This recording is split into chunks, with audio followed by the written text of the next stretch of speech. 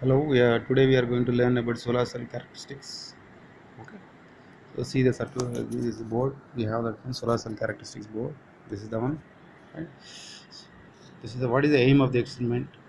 To calculate the fill factor and series resistance of solar cell. Right. How to connect? What is the apparatus we required here? That one. The apparatus we required here. That one. First one is a voltmeter. Second one is a ammeter so third one is a power supply. This is indicating power supply. Okay. Next uh, sorry uh, next uh, here that one one light to provide that one uh, photons. This is a solar cell. See observe one solar cell right? I'll take out solar cell and show you the solar cell. This is a solar cell right? So next i'll go over the formula. The formula is for the fill factor is i maximum. This is i maximum. So where i am indicating that one? I maximum into v maximum. So isc right? Isc into voc so i maximum v maximum isc into voc i maximum maximum of current maximum of voltage. Sc means short circuit current and open circuit voltage. Right clear that one? So this is the fill factor uh, diagram for that one formula for uh, solar cell. I show you that one formula for the solar cell. So this is the formula. We have that one. Series resistance uh, half into delta v1 into uh, delta i1 delta i2 i1 i2 this is the delta i1 the people are written wrong. That one. So there is delta i1 delta i2 delta v1 delta v2 and multiplied by half. This is the series resistance formula. We are going to find and we are going to connect the circuit diagram and we observe that one. So go for the circuit diagram first. We will observe here circuit diagram. So this is your circuit diagram. See observe that one circuit diagram. So the symbol of that one solar cell. Left side is showing that one three lines is indicating that one photons. Photons are there. This is your photons. Right. This is your photons where it shows us indicating one my ammeter voltmeter and uh, one more resistance here where it is not showing that one resistance the circuit diagram properly improper circuit diagram we have so then we will see that one connection of the solar cell okay so now i'll bring that one uh, we observe that one this is this is solar cell and uh, uh, the line is indicating that one uh, light light is going to fall on solar cell and the solar cell is the p-n junction diode already you know that one and ammeter positive negatives and this is the resistance symbol this is the voltmeter so we'll start this uh, circuit diagram connection from the positive of the solar cell to ammeter positive and negative of the ammeter to resistance. Resistance to once again we'll go for the solar cell negative. So this is called series connection. So when i'm going to connect that one when we are going to connect this voltmeter in parallel connection with that one resistance so we'll do here that one that's a circuit diagram just we observe that one here and uh, I'll go for that uh, positive of the solar cell positive of the solar cell I'll take a big wire. Positive of the solar cell here we are going to see that one solar cell solar cell. And uh, I'll show that one here positive and negatives. I'll connect here positive connection. So I'll connect here positive. Okay positive of the solar cell to I have connect here. Positive of the solar cell to ammeter positive so this is your ammeter positive. We have that one. I'll connect here ammeter positive. Right here next. So i'll connect here ammeter negative. So i'll go for here ammeter negative resistance. So i'll come here ammeter negative ammeter negative resistance. Resistance will show here that one. So here positive negative but uh, resistance there is no positive negative for that one. But even though i'll consider this one red so positive. So ammeter positive negative so resistance. Resistance another end too resistance another end where i have to connect resistance another end is the resistance another end resistance another end to solar cell negative. So resistance another end showing that resistance another end this one. Resistance another end to solar cell negative i have connected. This is called series connection. Once again i'll go for the connections. So solar cell positive to ammeter positive ammeter negative to resistance resistance to solar cell negative. So now i have said that one so yeah. So i have go for that one solar cell here. Solar cell positive where it's showing that one red color. Positive solar cell to i have connected here that one ammeter. So a see here ammeter. Ammeter to resistance resistance to once again I'll go for once again solar cell. The remaining part you have this is called series connection. The remaining part you have that one that is called voltmeter. So voltmeter is connected this one here positive of the voltmeter to resistance. So negative of the voltmeter to resistance I have to connect so I'll show you that one. So voltmeter positive this is the voltmeter we have. So voltmeter positive to so resistance I have to connect. Resistance already connected. Now I'll go for that one here. Double patch. Okay. Double patch. Now voltmeter negative. So I'll go for voltmeter negative. This is the voltmeter negative. So voltmeter negative so resistance resistance I have connected double patch. This is the double patch. Where parallelly I connected here this is about the circuit diagram. Now I'll take out the we'll take out the reading. So go for the table. What is the table is contained so table we have that one. We'll observe that one here. Observe observation table. So VOC we have. ISC we have. So ISC VOC so this is the ISC right? ISC VOC ISC means short circuit current and uh, VOC means open circuit voltage. First you will find out these two and we'll go for that voltage versus current. This is the voltage versus current is called the characteristics. So your board you have that one you have shown that one solar cell characteristics. Now we are studying here that one. The characteristics is voltage versus current characteristics. Now slowly i am going to increase the voltage. So i'll observe that one what happening here the current okay and note down that current readings right? Yeah. so now i'll find out here that one uh, short circuit uh, uh, current that one. Short circuit means we have that one here. So uh, resistance is zero. When i'm going to increase the here resistance knob so we observe that one voltmeter also is going to increasing that one. See that one. Voltmeter also increasing. So now i mean that one here the resistance is I placed here zero means voltage is showing that one zero here. Okay. so showing the zero. So showing zero. So i'll take out uh, readings that one. First uh, first table you have this is the first table. Voltage versus current. So i'll go for short circuit current. So when we are going to say the short circuit resistance will keep here that one zero. I'll keep here zero that one. Voltage is zero. That means that one highest current will show that one. Highest current will shows see that one highest current will show that one. So this is the highest current right? Uh, this is called short circuit current. Okay. First you find out that one one line value so how to find out one line on line value inside the voltmeter and ammeter so voltmeter i'll go for that one line value. You'll find that one on voltmeter one line values. Just you observe that one one unit one unit is contained 10 lines here. So one unit here 10 lines is a 0.5 and 1 1.5 2 2.5 means gap is 2 minus 1.5 1.5 1.5 minus 1 is 1.5 1 minus 0.5 is a 0.5 see 0.5 you have every time. 2 minus 1.2 0.5 0.5 1 1.5 minus 1 0.5 and 1 minus 0 0.5 is 0.5 means 10 lines value is a 0.5 on voltmeter okay voltmeter. So 10 lines value is 10 lines value is a 0.5 so one line value is how much? So class multiplication you are doing that one so now 0.5 divided by 10 so now it is 0 uh, 0.05 is the one line value this is the one line value. So one line value is the 0.5 in voltmeter. And similarly we'll observe that one one line value in is ammeter. So every 10 lines value here.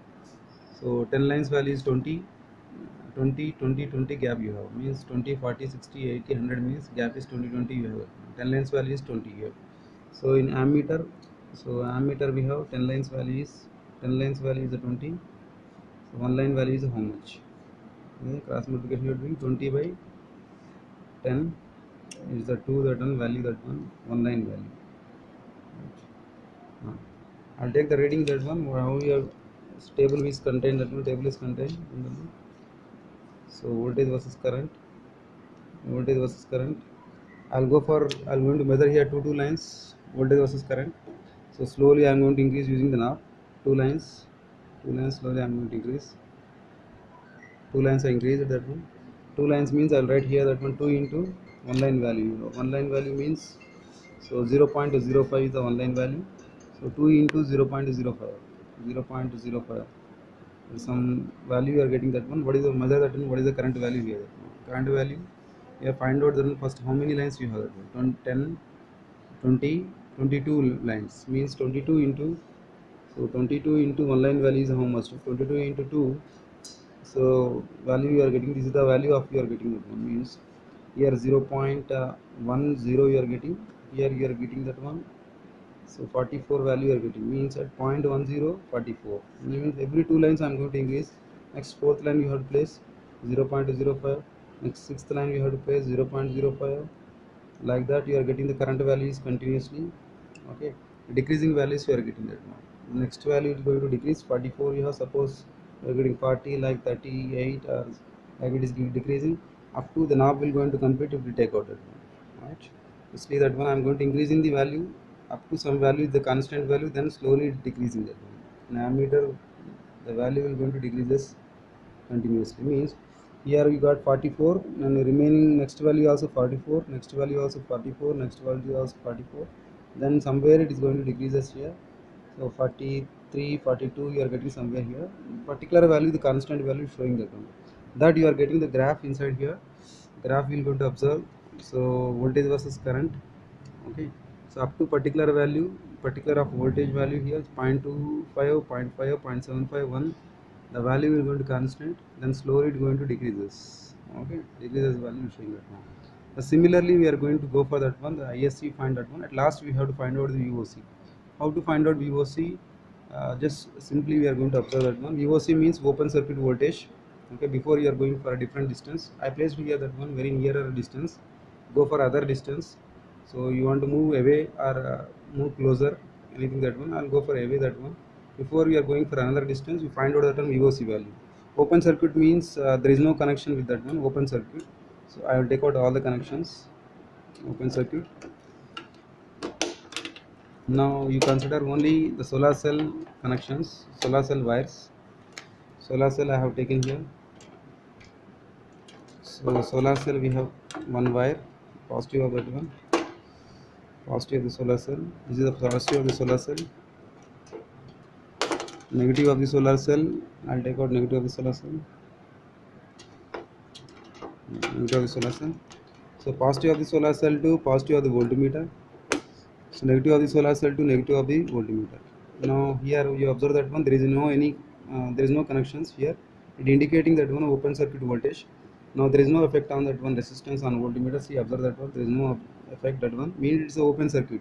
Directly we connected here that one solar cell to solar cell to here voltmeter means what is the maximum photons we are receiving solar cell that is displaying here that one in a voltmeter but uh, it is, is properly not connected. It's showing actually